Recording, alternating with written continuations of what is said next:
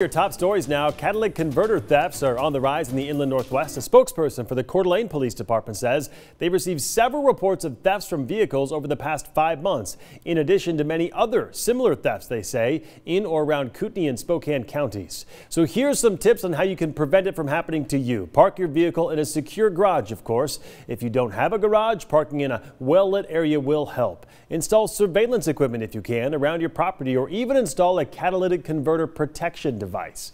For more tips, just head to our website, krem.com.